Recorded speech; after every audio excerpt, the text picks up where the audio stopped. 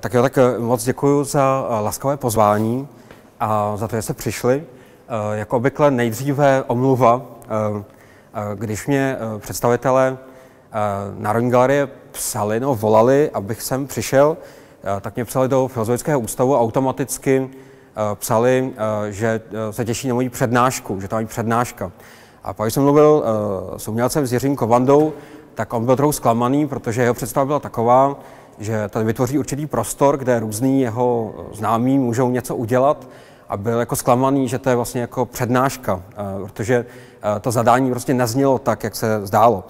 To říkám kvůli tomu, že se zdá, že to pracovní zařazení, když budeme mluvit dál o té spolupráci, že to pracovní zařazení je nějakým způsobem určující. Tím, že jako se mi bylo psaný do akademické instituce, tak vlastně předem bylo předpokládaný, že to bude přednáška a tím, že jsem byl teda pracovně zařazen tím způsobem, tak jsem jako nemohl dělat eh, nic jiného, co bych bývat eh, třeba mohl dělat tady na té, mm, na té platformě, kam bych si asi jinak eh, nebyl schopen stoupnout. Tak to je ta základní omluva, do jaký míry vlastně to pracovní zařazení, ta práce vás nějakým způsobem předurčují. Tak mě tady předurčila nebo odsoudila k tomu, že to bude přednáška, navzdory tomu, že to mohlo být něco zcela odlišného. Tak víte, že se to nemůžu úplně nouše, úplně nouše vyhnout.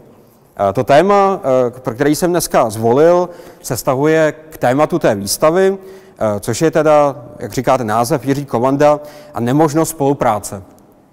Samotný ten název, který jako zní ne, možnost, takže nevíme, jestli ta výstava tvrdí, že ta spolupráce je možná nebo možná není.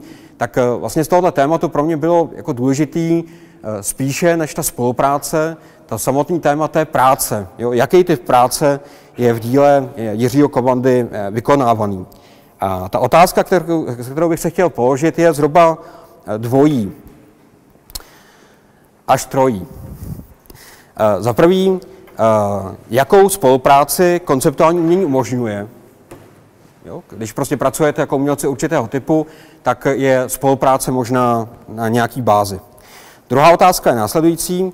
Jaký typ práce umožňuje naopak konceptuální umění? Jo, že bych rád tvrdil, že konceptuální umění není pouze nějaká jednoduchá reakce na nějaký vzniklý formy umění, ale že zároveň je to takový typ umění, který je umožněný určitými změnami ve sféře práce. Jo? Že pokud budeme mluvit o konceptuální umění někdy na přelomu 60. a 70. let, tak je to eh, určitý typ práce, eh, který proměnil eh, umění a který umožnil existenci nějaký umění. No a potom nutná poslední otázka, pokud, budou, pokud by ty první dvě otázky měly mít nějaký jako vypovídající hodnotu, tak je důležitá otázka, zda je Říkovanda konceptuální umělec což není jednoduchá otázka. A je ještě obtížnější kvůli tomu, že Jiří Komanda je dneska s námi, což mě šokovalo, ale uh, nedá se s tím už nic dělat, když byl tak laskavý, říkal, že může odejít, ale jsme dohodnutí tak, že kdykoliv v průběhu uh, dojde uh, k nějaké chybě mého výkladu, tak se zvedne, odejde a tím se vysvětlí, že budete vědět, že se sám jako mílí. Uh, já sám jsem něco podobného, eh, že jsem mluvil o umělci, který byl u toho přítomný, prováděl pouze jednou, to jsem už taky říkal, to bylo eh, v kontextu eh, práci Markéty Otová, která opravdu během 20 minut odešla v průběhu té přednášky, takže uvidíme, jestli Jiří Kovando vydrží déle než Markéta Otová tehdy. Tak to, jsou, to je, základ, to je základní jako rozvrh. Dílo Jiřího Kovandy je samozřejmě dílo zcela současné, ale zároveň je dílo Jiřího Kovandy uh, už jako historické. A v českém umění je velmi často stále prostě vystavovaný jako dílo současné. Já se v té dnešní přednášce zaměřím s jedinou výjimkou takřka výhradně na dílo z přelomu 70. a 80. let, znamená na ty úplné jako počátky a pokusím se jako vyložit uh, několik málo jako děl uh, toho, z toho hlediska, zda o nich jako o konceptuálních můžeme uvažovat a do jaké míry o nich můžeme uvažovat jako o konceptuálních z hlediska určitých eh, jako standardních teorií eh, tohoto typu umění. A ten výklad bude mít zhruba tři části. A je takový školní, to se omlouvám, ale já jinak asi neumím, pokud ta jsem neměl performovat. Nejprve teda vyložím to, co to je administrativní estetika, Potom něco řeknu o díle Jiřího Kovandy a v závěru se pokusím něco říct o institucionální kritice nebo o kritice institucí.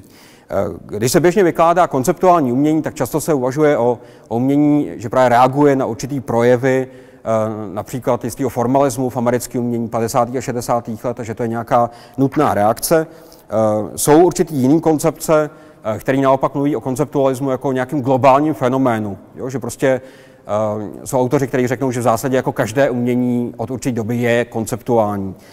Jsou nějaké jako užší definice, které řeknou, že konceptuální umění je to, který nějakým bytostným způsobem pracuje s nějakým jazykem. Já, když se pokouším definovat, co je to ta konceptuální umění a jakým způsobem by s ním práce Jiřího Kovandy mohla souviset, tak bych se chtěl oprátit k textu Benjamina Buchloha, známého německého Eh, německého eh, teoretika a historika umění působící ve, ve Spojených státech, který ve známém textu eh, konceptuální umění 1962 až 1969 od administrativní estetiky k institucionální kritice, což je text, který původně vyšel v roce 1989, ale v různých variantách věcech vycházely později, se pokusil napsat dějiny konceptuálního umění jako opravdu nějakého historického fenoménu, ne nějaký konceptuální tendencí, opravdu jako konceptualismu, jakožto eh, jako opravdu historickým způsobem pojednání fenoménu. Eh, v úvodu toho textu, eh, to je opravdu ilustrativní, čísla tady nebudeme, až na nějaký krátký jako ukázky, tak ten Benjamin Bluchoch tvrdí, že je podstatný, z jaký pozici o konceptuální umění mluví. A ten text eh, píše koncem 80. let a inovuje začátkem let jako 90. To znamená, že píše o konceptuální umění zhruba 20 let poté. To je podstatný, protože tenhle ten historický, eh, eh, ten historický prostě odkrok od toho, co konceptualismus byl, zároveň jako ukazuje, jakým způsobem skončil. Takže samozřejmě, si představíte situaci v umění 80. let, konec konců i v díle jako Jiřího Kovandy, tak bude naprosto dominovat naprostý protiklad konceptuální umění. Budeme uvažovat o dominantní malbě, návratu nějaké estetiky, rukodělního umění, to znamená, budeme v situaci, kdy se navrací určité tendence, e, vůči kterým se konceptualismus vyhraňoval. to znamená zajímavý, že vlastně jako v době, kdy ten text byl jako psaný, tak byl vlastně psaný z pozice prohry konceptuálního umění. A stejně tak si myslím, že je zajímavý, že dneska, když ten text čteme zase po těch dalších jako 20 nebo kolika letech, tak um, jsme přesně v té situaci, kde se zdálo, že v těch 90. letech na nějakou krátkou dobu konceptualismus znova jako se vrátil, jo, i v českém umění nějakým způsobem jako, jako dominoval nebo byl vlivný, ale my, když ten text budeme číst dneska, po těch dalších 20 nebo kolika letech, tak jsme v situaci, kdy se zdá, že znova prostě prohrál, jo, že návrat prostě silný jako estetiky, používání určitých technických prostředků a komodifikace jako umění jistého typu, naopak prostě konceptuální tendence, ne konceptuální umění, ale konceptuální tendence i třeba našeho jako umění z 90. nebo 0. let zase prostě nějakým způsobem jsou jako potlačovaný. Takže naše čtení tohoto textu, který mluví o konceptualismu jako o něčem, co prohrálo, eh, je znova prostě nějakým způsobem vnitřně, vnitřně obocený. To považuji za poměrně, za poměrně uh, důležitý. Důležitý bod, kterým ten Buchlok konceptuální umění popisuje, je to, že to je umění, který Eh, nereaguje pouze nějakým negativním způsobem na americký formalismus, definovaný autory jako eh, Bill Clan Greenberg nebo eh, Michael Fried, ale zároveň je to určitý jako přijetí určitýho typu umění. Je to přijetí především, především minimálního umění, který představuje v určitý podobě reakci jako na minimalismus. Když máte teď před sebou umělecký dílo, konkrétní výstavu Mela Bochnera, Eh, tuším, že z roku 1966, eh, která eh, se jmenuje nějaký pracovní kresby a další viditelné věci a tak dál. A tak přestože to je v tom roce 1966, pokud se nemýlim, jedna z prvních jako typických výstav konceptualismu, tak tu výstavu vytvořil Mel Bochner potom, co mu ta škola, kde ta výstava byla plánovaná, zakázal vystavit eh, kresby Lorence Wienera, jeho samotného, Roberta Smithna a tak dál, eh, že prostě škoda takový ošklivý věci vystavovat na zdech, tak on navrhl, že ty věci budou vystavované eh, jako kopie v nějakých zavíracích jako foliantech nebo deskách na těch čtyřech, na těch čtyřech platformách, takovým způsobem, že ty diváci můžou přijít a prohlížet si je sami, nemusí se ty věci rámovat a věsit na ty stěny. Eh, tak v této situaci je důležitý, že eh, sice je tam nějaký eh, jako odstup od nějakého formálně řešeného umění, ale zároveň jak to, to umění samo určitý formální procedury používá. Používá například jako ty čtyři krychle, používá určitý rytmus jako v tom prostoru a používá vlastně, kdybychom tam dali pryč ty konceptuální věci, zná ty kresby, tak by to vypadalo skoro jako nějaká výstava Donalda Jada nebo něco podobného. Jo, to znamená, to, co je na tom podstatné, že v konceptuálním umění, který se zdá jako jednoznačně se jako přisouvat jako směrem Eh, k nějakému jazykovému vyjádření, k nějakým dalším věcem, tak zároveň nějakým nutným způsobem se do toho vtiskává eh, něco tak doměle formálního a protijazykového, jako je umění, eh, jako je umění minimalismu. To je teď opravdu referuju víceméně ten text toho Benjamina Buchloha, to je podle mě poměrně podstatný. Tohoto dvojí napojení, to, že ti umělci jsou radikální a snaží se přinést nějaké nové hodnoty, ale zároveň teda nějak jako pozitivně přijímají něco z historické tradice, je podle toho Buchloha velmi důležitý. Říká, že například Dan Graham se vyjadřuje velmi pozitivně k Sol Levitovi, a to takovým způsobem, že tuším, že v roce 65 dokonce zorganizuje jeho výstavu. Víte, že Dan Graham jako umělec dlouhou dobu působil tak jako galerista, že pořádal, pořádal výstavy. Jo, takže uh, on se stahuje k minimalismu tak, že například dělá výstavu Sol Levita. Podobně Mel Bochner se vztahuje například k dílu Dana Flevina, zná umělce stahovaného něho nějakým postminimalismu určitého, určitého typu. Dan Flevin je třeba autor, který má jednu z těch pracovních kreseb zařazenou tady do těchto těch, do těchto těch, do těchto těch desek v tom roce 1965 66. Eh, stejně tak Joseph Kossuth, jako taky tradiční představitel amerického eh, konceptuálního umění, eh, tuším, že někdy v roce 1969 píše text o Donaldu Juddovi, kde tvrdí, že Donald Judd nějakým důležitým způsobem právě jako potírá určitý typ viditelnosti nebo optikality v uměleckém díle. Eh, když se podíváte eh, na ta další díla, které byly podle toho Buchloha spojený jako z počátky konceptuálního umění, tak by to byla taková díla jako například slavní dílo eh, Sola Levita, tuším, že z roku 1962, kdy vidíte, opravdu popisuju tu věc, jak vidíte před sebou, byť jako obvykle jsem použil ilustrace černobílý, bych tomu dodal určitou vážnost, tak tady v tomto případě to není nepodstatný, protože ta věc je instalována na stěně. Dneska už by pravděpodobně na tak ošklivý stěně instalována být nemohla, tak jsem musel použít ten historický jako záběr. Eh, tak vidíte, že vlastně v tom díle se kombinuje vlastně jako vizuální a diskurzivní nebo konceptuální nebo jazykové vyjádření. Jo, na jednu stranu tam máte teda červený, stěn, eh, červený čtverec, který pro vás je teda černý pro informaci, ale to se poznat. Tam, kde jako je napsaný bílej, tak tam je bílej, to je celkem dobře patrný. Ale důležitý je, že tohleto dílo, který je jako pouze jako minimální, jako nějakým způsobem performativně jako nakládá s tím, co před ním prožívá ten divák. Jo? Že na jednu stranu on musí jako to dílo číst, a na druhou stranu ho musí nějakým způsobem jako vidět. Jo? To je podstatná věc, že tam jako dochází k tomu zvláštnímu jako kmitání tomu samotného vnímání. Jo? Že minimalismus není pouhý čtení, ale zároveň je to vidění uh, určitého typu. Uh, ta jazyková definice je tam kombinovaná teda pořád ještě s určitou jako modernistickou sebereflexí. Jo? Pokud máte v tom Greenbergovském modelu to, že úspěšný obraz je takový, který ukazuje svoji vlastní barvu, a neskrývá tu barvu používání třeba nějakého motivu nebo něčeho podobného, eh, tak stejně tak, jako ten obraz pořád ještě má určité modernistické rysy, protože prostě popisuje, že to, co na ním je ten červený čtverec, a ten červený čtverec opravdu je červený. Pořád je tam vlastně jako ta eh, jako modernistická tendence k tomu ukazovat tu věc, jaká je. Ale nezůstává pouze u toho. Eh, ten divák sám tedy jako provádí tuhle tu věc. Eh, podle toho Buchloha není nepodstatný, že zároveň v těchto těch čtvercích je tam ten střední čtverec, který tam chybí a který nějakým důležitým způsobem jako ukazuje eh, tu oporu, na kterým ten obraz visí. To, že je tam prostě ta prázdná stěna, eh, tady poměrně ošklivá, která, i když je dobře natřená na bílo, pořád stělesňuje nějakou specifickou oporu pro umělecký dílo.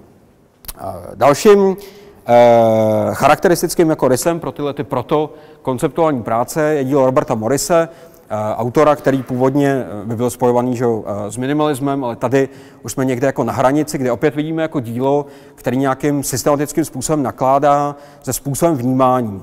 To dílo je plošný, je to obraz určitého typu, ale má v sobě ta dvířka, který máte opravdu jako uh, otevřít, že dneska by vás na to asi nenechali šáhnout, ale dřív jste to měli jako přijít a otevřít to a vidět tam tu fotografii, to znamená, jsou tam tři uh, způsoby jako signifikace. Na jednu stranu je to teda uh, jakoby ta jazyková signifikace, kde víte, že je tam to I, to znamená to já, který zároveň určují slovní říčkou Eh, jako k, jako k oku eh, v angličtině. Eh, to znamená, je to něco, co tematizuje tu viditelnost, ale zároveň to říká, že to nemůžete pouze vidět, že to zároveň musíte číst. Pak je tam prostě jako ten samotný obraz a konec konců jako to já v té klasické fotografické reprezentaci, když vidíte toho samotného, toho samotného umělce. Robert Morris tady nějakým důležitým způsobem nakládá s tradicí Duchampova readymadeu.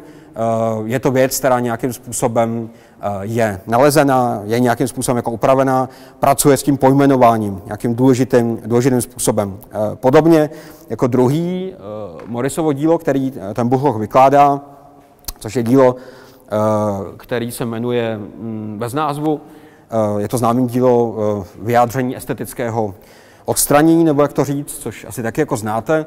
Je to dílo, který chce říct, že jiné Eh, jiné Morisovo jako dílo eh, mělo původně nějakou estetickou hodnotu a on ho tím tím vyjádřením té hodnoty zbavil.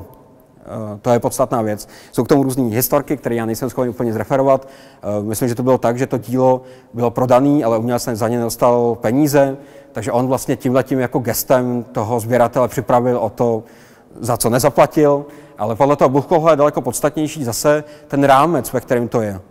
Ta estetika tady už je Eh, nějakým způsobem vyschlá. Eh, ta estetika má podobu vlastně nějakého eh, nějakého právního vyjádření. Jo? Je to estetika prostě nějaký, skoro bych řekl, jako byrokracie. Jo? To znamená, je tam nějaká smlouva nebo prostě kus jako vyjádření, kde on říká, že to dílo, ty litanie, který prostě předtím jako vytvořil, zbavuje ty estetické hodnoty nějakým skoro takovým jako jako kancelářským způsobem je dává jako dohromady jako s, s obrazem té věci a vytváří tady tenhle ten Eh, administrativní postup, jestli chcete.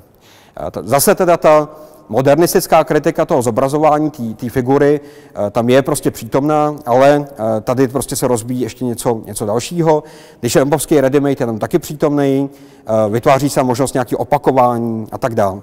Podle toho Buchloha tady jsme opravdu už jako na počátku tradičního konceptuálního umění, který podle mě důležitým způsobem právě přejímá něco takového jako určitou administrativní estetiku. Tváří se, že jako rezignuje na jakýkoliv jako vizuální zobrazení, chce se redukovat na pouhý nějaký jazykový vyjádření, jak to tak školně znáte, že jo, třeba o Kosuta, o těch dalších jako autorů, ale e, zároveň prostě přebírá nějakou estetiku. A ten Buchloch tvrdí, že to je právě estetika té administrace, to, že sedíte prostě v kanceláři, píšete něco na stroji, e, máte prostě nějaký jako právo něco dokázat e, a tak dále, tak dále. Něco podobného, a to už tady podrobně referovat nebudu, můžeme říct jako třeba o těch drobných knihách Eda Rušej, kde taky víte, že tam fotografie je třeba spojená eh, s textem. Banální fotografie, která pouze dokumentuje, tak jak se dokumentují třeba místa autonehod. Jo? Není to fotografie, která byla estetizovaná, je spojená s nějakým textem a tak dále. Eh, nebo v těch pracích třeba Danegrama, také dobře známých. Jsou to práce, které eh, pracují třeba s médiem novinového článku, nebo jsou šířený eh, někde v novinách a tak dále, tak dále. Zase je to prostě nějaká, eh, nějaká administrativní estetika. U takových autorů, jako je ten Kosut, to ještě jako dál, protože to dílo je vlastně redukované opravdu pouze na to jazykové vyjádření. Není tam nic jiného, není tam jakoby nic vidět, pouze teda ten jazyk, ale je to nesený určitým typem, určitým typem estetiky. Ten eh, Buchloch, což je podle mě asi nejvýznamnější přínos toho textu, tvrdí, že objevení prostě konceptuální umění někdy prostě v polovině 60. let ve Spojených státech opravdu těch několika málo jako umělců nějakým důležitým způsobem souvisí s nějakými jako změnami, které jsou právě na úrovni práce. A tady se teda dostáváme k té důležité otázce, jaký typ práce uh, umožňuje vznik konceptuálního umění, jak ho známe u takových autorů a jeho následovníků. A on právě tvrdí, což je to příliš velký asi, abych to byl schopen přečíst, ale eh, ten citát je zhruba někde tady, tady od kousek dál. On prostě říká, že ta estetická identita je strukturovaná velmi podobným způsobem, jako je eh, strukturovaná eh, nějaká jako sociální identita nějaké třídy. A totiž takovým, že je to taková třída, která pouze administruje, nějakým způsobem administruje práci, než aby, sami, eh, než aby sama něco produkovala a zabývá se distribuce, eh, distribucí informací spíše, než vytváří nějakou komoditu. Zda on tvrdí, že vznik takového uměleckého díla je umožněný jako tím, že zhruba prostě po druhé světové válce, a on tvrdí, že jako ten vrchol tohle byl právě v těch 60. letech, se radikálním způsobem proměňuje jako svět práce, protože to není práce, kde se něco vyrábí, ale je to práce, kde se právě distribuje informace nebo něco, něco podobného. A je to právě tato estetika, která se propisuje i e, e, do toho umění, jako oni uvažujeme. On tvrdí, že vrcholem e, takového pochopení uměleckého díla je francouzský nový román, který prostě se sebereflexivně obrací k svým vlastním prostředkům, k svým vlastnímu jazyku a zároveň tím například se naprosto zbavuje nějakého politického nároku. Jo, to umění je bytostně jako depolitizovaný, protože rezignuje na nějakou jako utopickou představu o nějaký radikální změně například. Tohoto Buchlohovu tezi Eh, dneska nebo v nedávné době podporuje celou řada dalších autorů, jako byla třeba Liz Scott, eh, která tvrdí, že ta estetika té administrace se projevuje ve využívání třeba vědecké dokumentace, jo, že umělci používají třeba mapu nebo nějaký diagram nebo e, nějaký instrukce e, nebo partituru Jo, že to vlastně přejímají z toho světa, ve kterém pracují a vytváří umělecká díla, které na sebe berou to mimikry, toho, té práce v té kanceláři nebo něco podobného. Jo. Eh, je to, eh, ona dokonce tvrdí, tvrdí ta Scott, to je nedávná kniha, která navazuje na to Buchloha, že dochází k nějaký nápodobě nebo dokonce, dokonce fetišizaci jako nějaký vědotechnické kultury. Eh, je to, ta informace se stane něčím takovým jako stylem. Jo, to, že prostě použijete nějaký text, tím si zjednáváte nějakou vážnost toho díla nebo něčeho, něčeho podobného. A zcela nedávná kniha z loňského roku, e, Tamary Trot, to je americká mladá badatelka, e, tak ta přímo jako říká, že e, můžeme jako vidět e, ta 60. léta prismatem prostě Marshall McLuhana, že to, s čím se nakládá, jsou právě jako informace, že se například komění používá telefon nebo něco podobného, nebo dokonce se objevuje Xerox v roce 1960, a um, vznikají výstavy, které právě na tuto situaci, na tuto situaci reagují. Eh, tak, jak je teda klasické americké konceptuální popisováno, eh, tak v té stávající představě je to takový umění, který na jednu stranu se tváří eh, velmi revolčně, jako umění, který popírá modernistické tendence o zobrazování kvalit nějakého média, třeba v americké jako malbě, na druhou stranu jako paradoxně přijímá určitý jako sociální podmínky, ve kterých vzniká, včetně určitých estetických postupů, jo, to, že používá jako text a tak dále, tak dále. Ta otázka, kterou, před kterou teď stojíme, zdá tato koncepce, která je dneska asi dominantní v pochopení konceptuální umění, je aplikovatelná na dílo tady přítomného eh, Jiřího Kovandy. Eh, já přestože se ho zdá být odvážné, se budu snažit tvrdit, že ano, že tomu tak opravdu aspoň v nějaké době bylo. Eh, to je teda eh, druhá fáze. Když se podíváte třeba na tuto práci Mela Bochnera, která velmi dobře jako stělesňuje právě jakoby tu administrativnost toho konceptuálního umění, tak vidíme, že to dílo je opravdu bytostně sebereflexivní. Je to řada portrétů různých osobností, kde ty portréty tuším vznikaly tak, že ten umělec našel eh, nějaký charakteristický rys pro toho umělce, našel nějaký jako řady synonym, který toho umělce definovali. Tuším, že pro Evu Hesse to bylo nějaká zavinutost nebo co, a pak je prostě ten portrét v podobě řadu synonym těch men. V případě toho Borgese přiznám, že jsem nebyl schopný jako to, to dohledat, eh, ale je tam prostě to, že ten text eh, vás jako nutí vytvořit jako diváky performativně nějakou situaci, která je čistě obsažená v tom textu samotným. Eh, no a když srovnáme tuto věc, konečně se dostáváme v práci Jiřího Kovandy, tak eh, nás samozřejmě zarazí, že Jiří Kovanda o něco později eh, ke své práci, přeškrtnul jsem to, což je asi velmi raná práce z roku 1977, používá identický milimetrový papír jako Mel Bochner, celá řada dalších umělců, kde to, co vlastně tam jako vidíme, je úplně stejně sebereflexivní věc, že máte určitý obraz, Podobně prostě, že jako u toho Solavita, že něco vidíme, ale zároveň to samo je popisovanou. Jo? To znamená, ta sebereflexivita toho uměleckého díla je prostě jako bytostně jako založená jako na tom, že e, něco jako vidíme a zároveň to čteme. Zároveň Eh, samozřejmě, že klasický historik umění by se jednou Komody zeptal, proč jako použil milimetrový papír. On by pravděpodobně odpověděl, že ho měl jako k dispozici, ale protože nejsem, eh, nejsem historik umění, tak jsem se ho nezeptal a můžu ho použít jako tu argumentaci. Eh, podobně když vidíme Jiřího Kovandu tady v práci, čekám, až mi někdo zavolá, kdy teda sedí v této konkrétní situaci u toho telefonního přístroje, tak samozřejmě nás nutně napadne, že tohleto slavný dílo Waltra de Marie, který taky prostě jako pracuje s, s telefonem jako s nějakou technickou oporou, byť význam těch prací je samozřejmě naprosto odlišný. Tady nechci mluvit prostě o otázce nějakého vlivu nebo něčeho podobného. Chci dokázat, že Jiří Kovanda je v této době konceptuálním umělcem eh, se vším, co k tomu jako patří, včetně toho, že používá telefon. Ale to zase by mohlo eh, vejít ještě daleko eh, jako zajímavější, protože samozřejmě ten Walter de Maria, když tuto práci realizoval a později, tuším v roce 1969, byla vytvořena celá výstava v, tuším, že Muzea moderní umění v Chicagu, kde vlastně bylo umění jenom po telefonu, jo, že vlastně různí umělci vytvořili díla, které měly být realizované pouze jako po telefonu.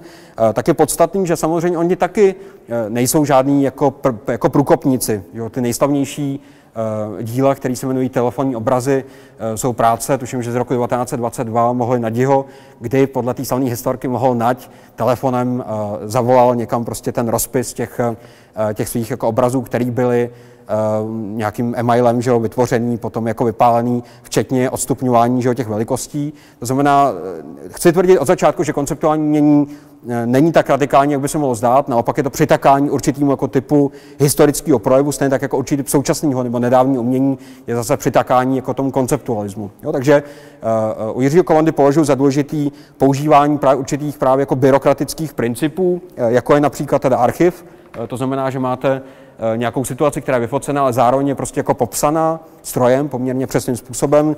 Zase, kdyby to uvažoval o tom historiku mění, tak by upozornil na to, a to výjimečně vím, že tak opravdu bylo, že na svých počátcích ty práce byly prezentovány jiným způsobem, byly prezentovány jako eh, fotografie bez toho textu. Eh, myslím si, že v roce 1980 eh, v časopise Jazz, kde vyšel ranní rozhovor, Eh, s Jiřím, eh, s Karlem Srpem, eh, tak tam vlastně jedna z těch prací, nebo trochu jiná, je prezentována pouze tou fotografií, kde ten text je daný jako pouhý popisek k tomu. Jo? To znamená, další věc, která je tam podstatná, že vlastně ta fixace nebo ta stabilizace, co to dílo je, je v konceptuální umění v nějakém pohybu. Jo? Není, děje se prostě v čase. Pokud se nemýlím, tak k fixaci těch věcí jakožto díla došlo pravděpodobně až v 90. letech, pokud se nemýlím. Jiří mě to potvrdil, tak to mám. Původně měla být jenom dokumentace pro potřebu, když to někdo chtěl vidět, něco jako portfolio. Jasně, děkuji.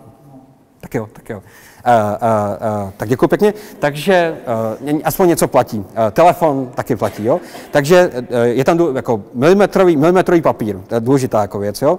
Potom určitá míra sebehistorizace. Jo? Autoři typu prostě Morise se obrácejí k Tatlinovi.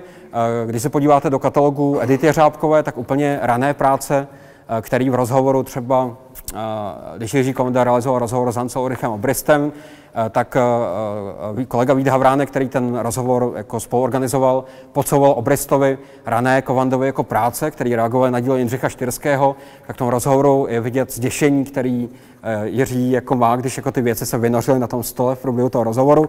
To znamená, podobně jako pro Morise máte nějaký předpoklad třeba v tom Tatlinovi, tak podobně bychom u Jiřího Kovandy hledali nějaký předpoklady třeba v českém surrealismu, který taky třeba v používání Eh, kombinace mezi textem a obrazem v, kombina- eh, v práci s koláží paradoxně by mohl být jako docela dobrým předpokladem pro eh, konceptuální umění tohoto typu. Ten určitý model sebehistorizace, používání těch opor, jako je tam milimetrový papír, ale určitý taky model sebereflexe, který tam můžeme jako vidět. Ty další věci by mohly jít ještě dál, a teď samozřejmě jsme už na půdě opravdu velké spekulace.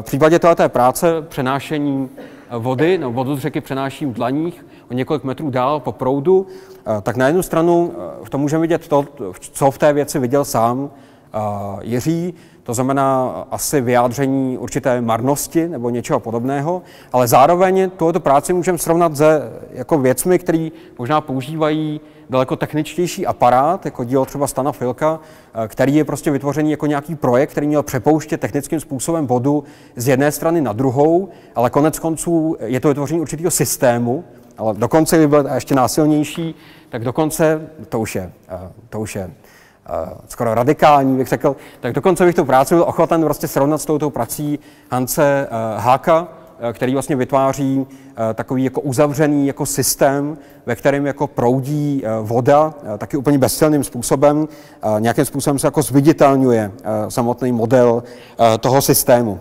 Myslím si, že v díle Jiřího Kovandy z přelomu 70. a 80. let můžeme vidět určitou zájem o sebehistorizaci, zároveň je tam používání určitých právě těch administrativních opor, zároveň je tam určitá míra sebereflexivity, zároveň je tam teda dokonce určitý zájem určitou systémovou estetiku, kterou považuji za poměrně důležitou.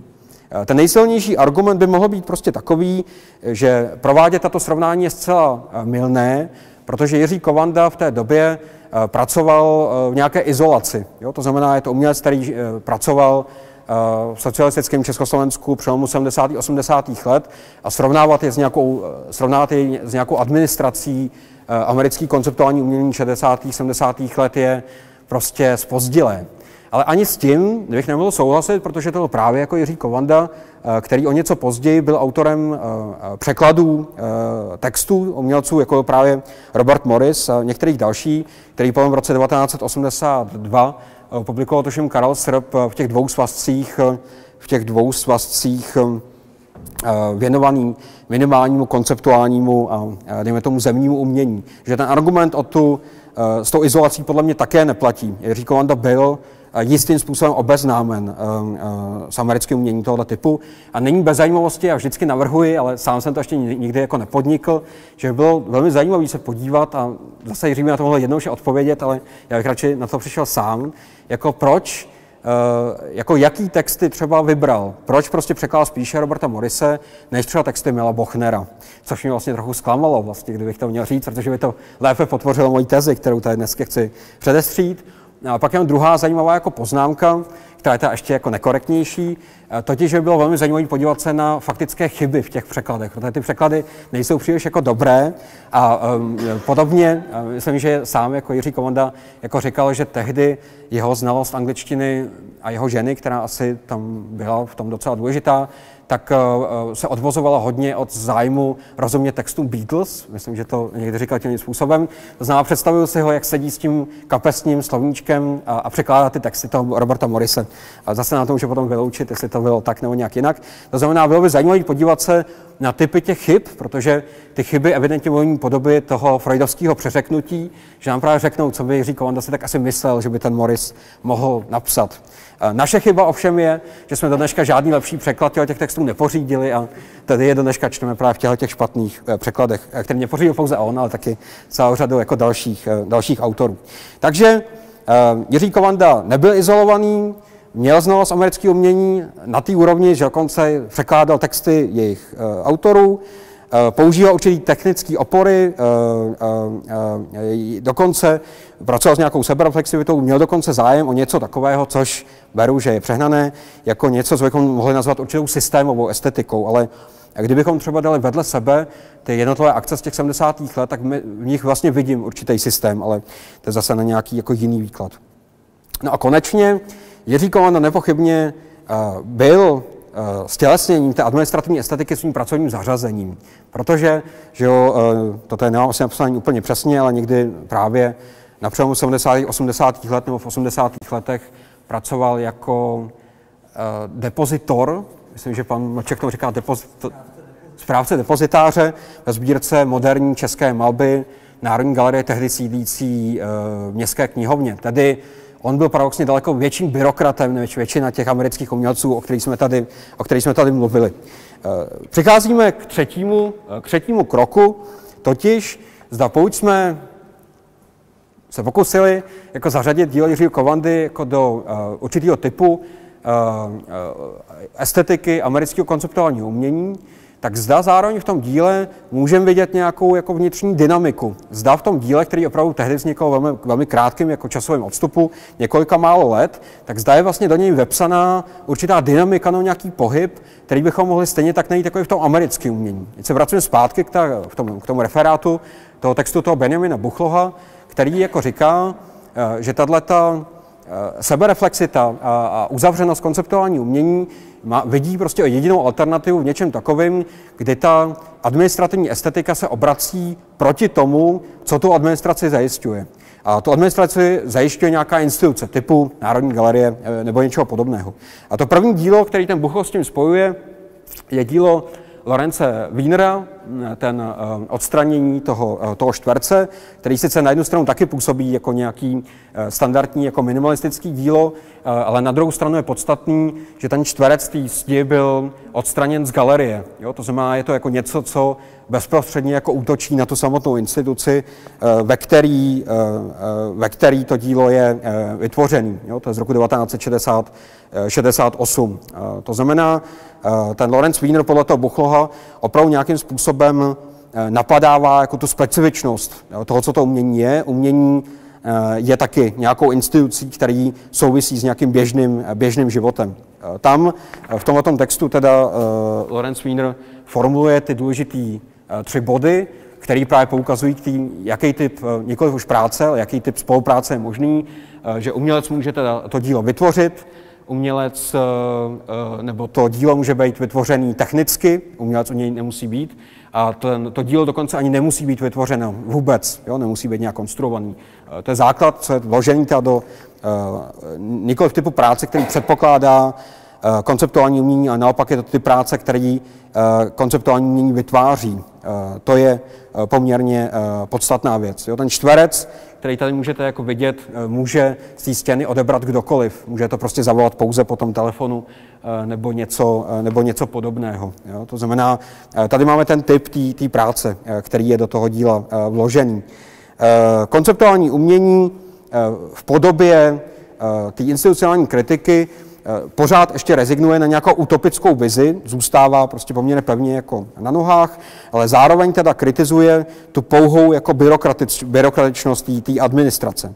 Ta otázka je, jestli něco takového můžeme najít právě taky v díle Jiřího Kovandy a opět se snažím tvrdit, že ano, a to je něco, eh, o čem jsem už sám, eh, sám mluvil. Tady máte ještě jednu z těch definicí, co, to, co by to určitý typ institucionální kritiky byl, eh, já to teď tady něco schopný úplně rychle najít, je to tady někde nahoře, eh, jo, jo totiž, že, že ta díla toho Daniela Burena a Hanse Haka eh, vstupují přímo jako dovnitř jako těch vztahů a promítají zpět do těch ideologických aparátů samotných, to znamená analyzují a jako vystavují pohledu sociální jako instituce, ze kterých jako ty zákony určitého pozitivismu, no, logického pozitivismu, který právě on spojuje s tou administrací, byly vytvořeny. Jo, tak je to právě podle něj pouze to dílo té takzvané institucionální kritiky nebo kritiky institucí, který překonává nějaký vnitřní meze konceptualismu směrem zpátky k nějaký kritické pozici, která není utopická, ale přesto je to teda jako taková jako pozice, která reflektuje nikoliv to dílo samotný, ale i podmínky, ve kterém vzniklo. A tady je tam něco, co uh, už vyšlo, to, ale já to obohatím ještě o nějaký jiný rysy. Eh, když jsem měl do katalogu, který před několika lety připravila Edith eh, Jeřábková, eh, napsat něco pro Jiřího Kovandu, tak opět jsem dospěl k nějakému nedorozumění, protože jsem požádal, abych napsal něco osobního, ale to já bych nebyl schopen, takže jsem podal takový suchý výklad alespoň jedné Kovandovy práce, které si to myslím zaslouží. A zvolil jsem práci, o kterým jsem nikdo nikdy předtím moc nepsal, a to je instalace 5, z léta 1979 v tom rozhovoru s Karlem Srpem eh, Jiří Kovanda velmi přesně popisuje, jak eh, v určitý chvíle pro něj už jeho vlastní fyzická přítomnost nebyla podstatná, jak vlastně chtěl vytvořit určitou situaci, která by byla dostatečná jako bez něj samotného. A popisuje tam třeba práci, kdy eh, vzal hroudu hlíny a vrhnul ji do rohu nějaké místnosti. A v tom rozhovoru velmi přesně popisuje, že pro něj bylo podstatné to, že vrhnutí té hlíny toho rohu nějakým způsobem řekl, uh, promítlo celý ten prostor pro toho diváka, že celý ten prostor najednou v tomto gestu byl viditelný. Kdybyste prostě přišli do prostředka, tam to nechali spadnout, tak to nic neudělal. A tím, že právě jako zvolil to přesné místo, kam jako tu hlínu jako vrhnul, tak eh, to nebyl žádný lentár, že přenesl hlídnu jako zvenku dovnitř, ale chtěl právě ukázat ten prostor, do kterého vstoupil. A v tomto díle eh, to podle mě udělal nejradikálnějším způsobem, Eh, protože položil tady to sklo do rohu té místnosti. Hm, když jsem psal, teď opravdu referuju svůj vlastní text, to se trochu omlouvám, tak asi to běžné srovnání by bylo s nějakými díly minimálního umění, tak jako Karl André prostě jako položil nějaký kovový plát do rohu místnosti nebo Robert Morris, u kterého není ta adice, nějakou věc jako opřel někde jako o stěnu, nebo Robert Nasmithna se prostě do rohu položí nějaký jako skleněný desky. Ten rozdíl v tom je celkem patrný a je teda materiálový, že když to srovnáme teda s tou Jirkou prací, tak tady máte použití jako toho skla, tady opět byrokraticky s tím nákresem.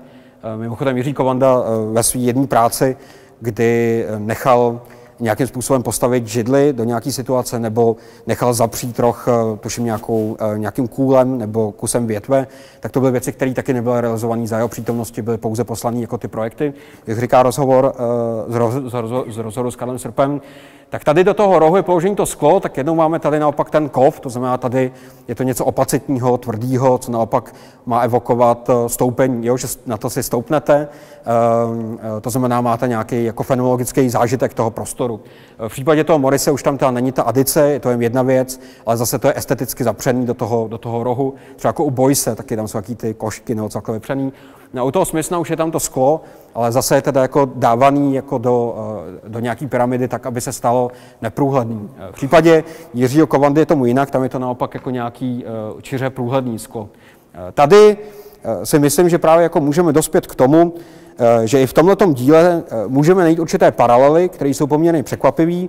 A tou paralelou by pro mě bylo tohoto dílo Michaela Ashera, charakteristického představitele americké institucionální kritiky, kde způsobem, který by byl asi eh, pro Jiřího Kovandu zcela vzdálený, protože byl naprosto neekonomický, eh, on velmi komplikovaným způsobem jako spočítal, eh, kolik průměrný sklo, který byl použitý jako nějaký školní výstavě, bylo použitý a vytvořil jako dílo, který mělo podobu toho skleněného čtverce, kterým bylo vlastně průměrem všech skel na té výstavě. To říkám teď trochu nesrozumitelně, tak, eh, takhle to myšlení. Bylo to velmi komplikovaný, ale ve výsledku je to prostě velmi jako jednoduchý.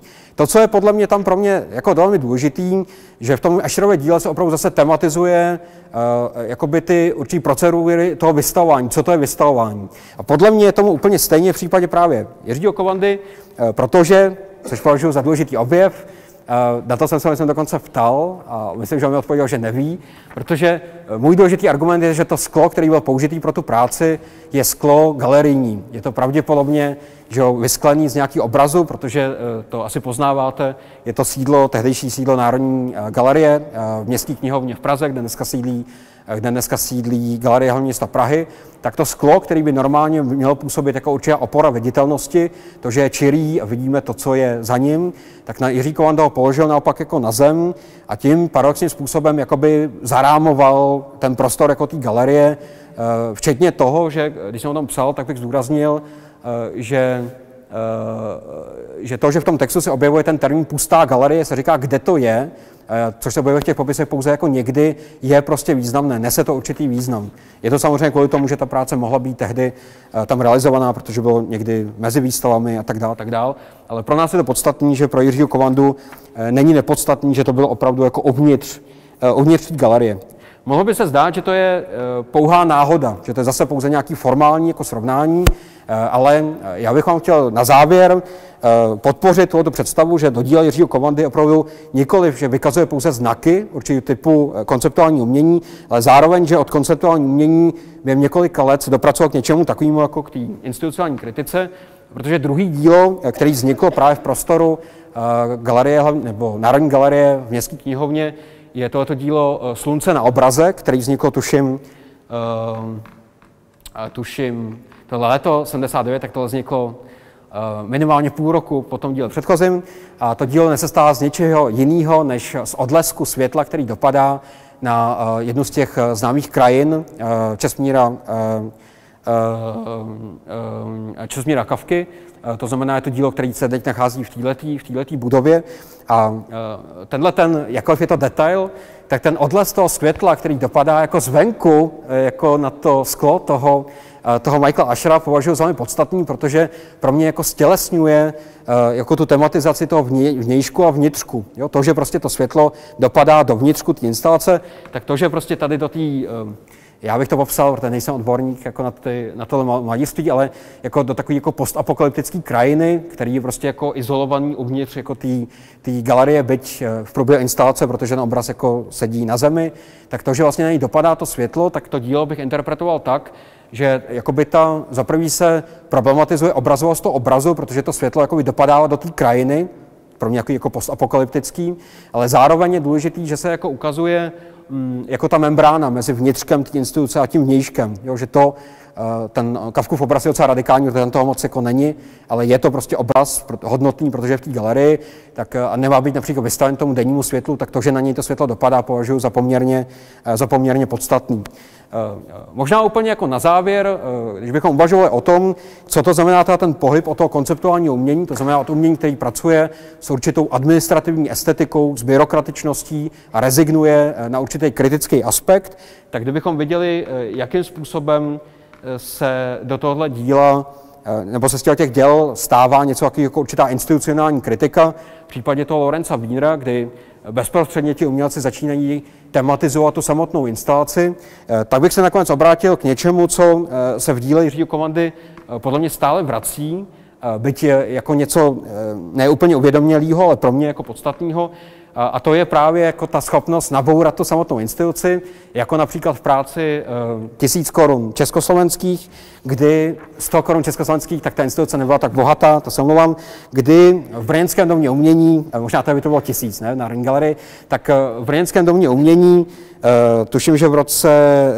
v roce 2006 se proboural dovnitř té galerie a vložil tam asi tři čtvrtě metru, našel jsem dokonce instalační fotografii, kdy jako vkládal ten instalační četa eh, jako tu, to množství těch peněz.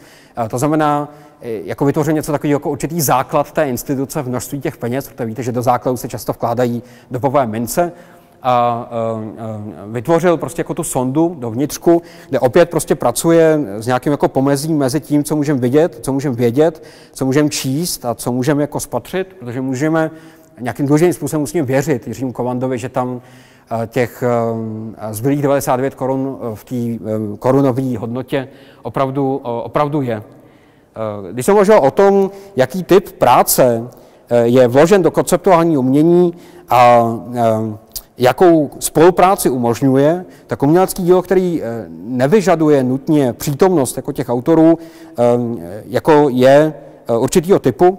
Pokud se nemýlím, a tady se nechám opravdu opravit, tak když Jiří Kovanda měl v této galerii o několik let později nějakou další výstavu, tak jsme spolu při rozhovoru eh, tady eh, v okolí nás společně napadlo, já myslím, že to napadlo mě, ale možná se mýlim, že by bylo docela jako zajímavý na tu novou výstavu najít jako zpátky těch 100 korun a odhalit je a, a vlastně provést určitou jako archeologii, jestli způsobem sebe sama. A uh, pokud se nevím, tak to Jiří opravdu potom jako udělal, uh, takže to bych zároveň považoval za uh, naší vlastní spolupráci. A to je všechno. Tak jo, děkuji.